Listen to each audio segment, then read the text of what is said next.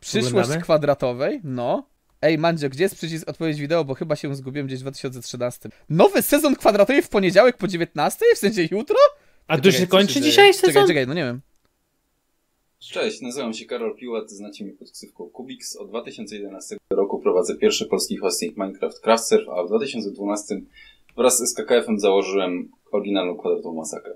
Dzięki temu projektowi już wtedy swoją początkową popularność zdobyło wielu polskich influencerów.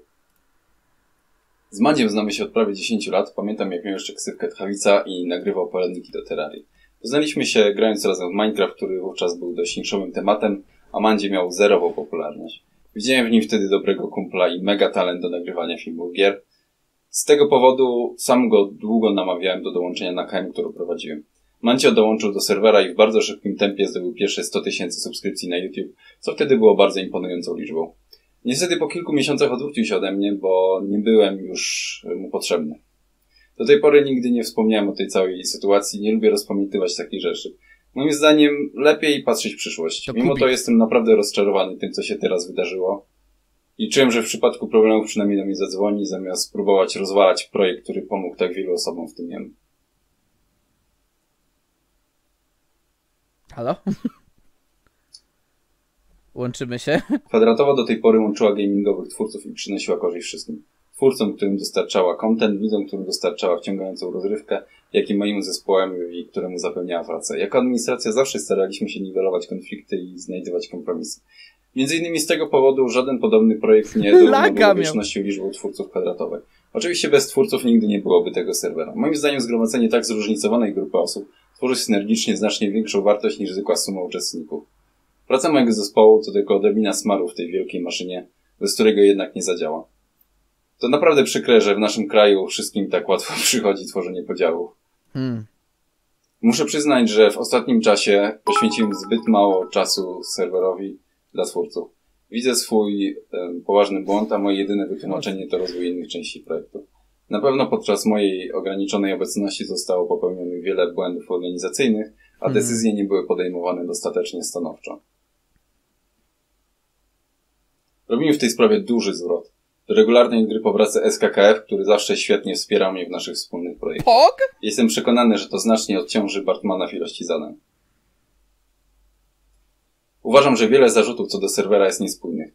Z jednej strony jakiekolwiek ograniczenia w grze spotykają się z dużą niechęcią, a równocześnie krytykowany jest brak rygorystycznych regulaminów. Regulamin dla serwera był dostępny od listopada, wcześniej obowiązywała zasada nie bądź chujem, ale niestety przestała się sprawdzać. Mandzie jakie rozwiązanie problemu z lagami sugeruje Wylatuje sektory, które czat. nie działały na aktualnej wersji gry w trakcie pierwszego sezonu, dlatego wprowadziliśmy utrudnienia craftingów. Nie, no Działające jak? sektory na wersję nowszą niż 1.8 stworzyliśmy specjalnie pod potrzeby kwadratowej Games na jesieni zeszłego roku. Nie chcieliśmy ich wrzucać na serwer twórców, bo nie mieliśmy pewności co do ich stabilności. Żadna inna firma nie posiada takiego oprogramowania w tej chwili.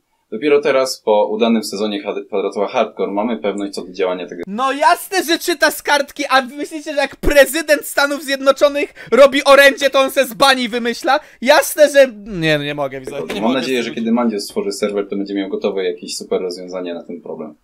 Kwadratowa od dawna działa na procesorze o największej dostępnej wydajności single thread.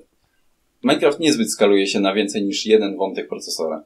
Gdyby zakup trochę droższej maszyny był rozwiązaniem wszystkich problemów serwera, to bardzo chętnie bym to zrobił, zamiast płacić programistom, na których wydałem ponad 200 tysięcy złotych w ostatnich miesiącach. 200 koła. Jeżeli jesteście zainteresowani, to w kolejnych filmach chętnie opowiem, dlaczego Minecraft od zawsze miał problemy z wydajnością. Okej. Sporo osób atakujących projekt ma swoje interesy i plany, których nie widać na pierwszy rzut oka. Na pewno w najbliższych tygodniach pojawi się wiele serwerów próbujących znale- zająć miejsce kwadratowej, robić lepiej to, co robiliśmy do tej pory. E, Jestem pewny, że z początku będą miały duże zainteresowanie. Mam tylko nadzieję, że faktycznie będą oparte o oryginalne pomysły, a nie marną kalkę tego, co robiliśmy tutaj. Okej. Jesteśmy w trakcie przygotowywania nowego sezonu bez żadnych ograniczeń i z sektorami. Żadnych zbędnych pluginów, standardowy generator mapy z publicznym seedem z internetu. Sezon będzie nastawiony na interakcje pomiędzy graczami. Dołożymy wszelkich starań, aby gracze tworzyli własne eventy i rozwijali swoją kreatywność. Regulamin zostanie zaktualizowany i znacznie uszczelniony, dokładnie według opinii Mandzia i innych twórców. Startujemy w tym tygodniu. Wracając Ty? do mojego byłego kolegi, który ostatnio dużo wspominał, że konkurencja jest zdrowa i fajna. Zdecydowałem, że jako kwadratowa zorganizujemy turniej Speedrun, w którym funduję nagrody łącznej wartości 25 tysięcy złotych. Oczywiście nie będą to nagrody tylko dla twórców. Czekaj, nie co? zostawimy przecież widzów bez y, żadnych nagród. 5 tysięcy złotych z tej Ile? będzie przeznaczone na kategorię widzowie, w której każdy amator będzie mógł wziąć udział za darmo. Rozgrywki będą odbywały się w ramach Kwadratowa Games ze specjalnym autorskim pluginem pod speedruny, gotowym liczeniem splitów, real-time rankingami na naszej nowej stronie i innymi fajnymi bajerami. Na Ja speedrunach oczywiście będzie obowiązywała mechanika 1.16.1. Wejść może każda osoba posiadająca aktualną wersję MC. E, Startujemy na dniach. Nasz ostatni turniej esportowy w ramach serwera Hardcore odniósł duży sukces, a Gildia Rekt wygrała w nim 10 tysięcy złotych. E, Ich lider Matedan już dawno otrzymał nagrodę.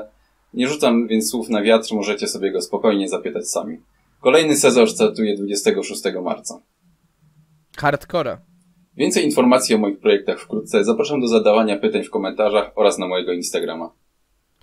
Nowy sezon kwadratowy w poniedziałek po 19.